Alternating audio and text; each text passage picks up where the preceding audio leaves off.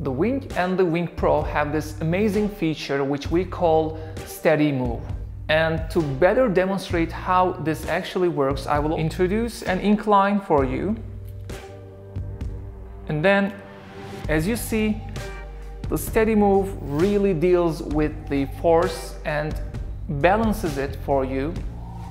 And this way you can achieve really steady results. The steady move absorbs your little mistakes on the go and evens them out and delivers you a perfect slide just the way you like.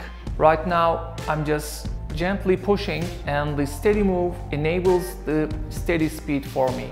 I can increase or decrease the tension from here, so the steady move is completely adjustable.